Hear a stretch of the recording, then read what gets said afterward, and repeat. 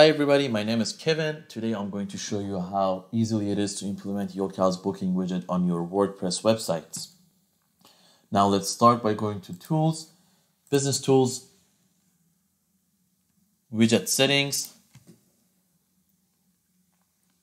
First thing you have to do is you have to generate your widget URL, enter your business name over here.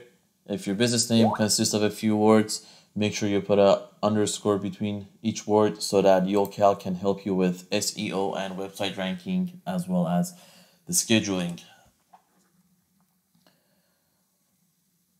Make sure you save your changes after you put your business name over here and scroll down to widget look and style customization.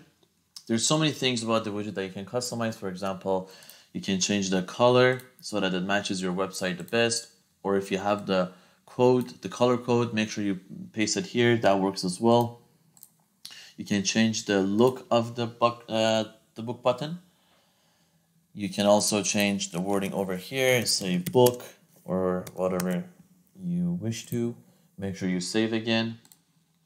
Um, scrolling down, you get to see a lot of other customization. For example, you can hide your business logo.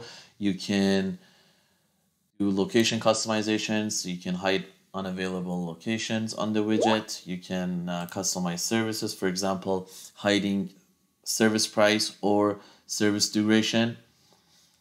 You can customize provider settings. You can change the, uh, the label, the provider labels. For example, if you have doctors, you can just write down doctors over here. If you got barbers, you, you write bar, uh, barbers. Over here, we're just going to leave it to beautician. Um, all you have to do at this point is to copy this code that Yocale has generated for you. Click on this button and it copies. And now let's go to your WordPress. Navigate to plugins on the left hand side menu. Okay. Click on add new. In the search box on the right hand side, type in headers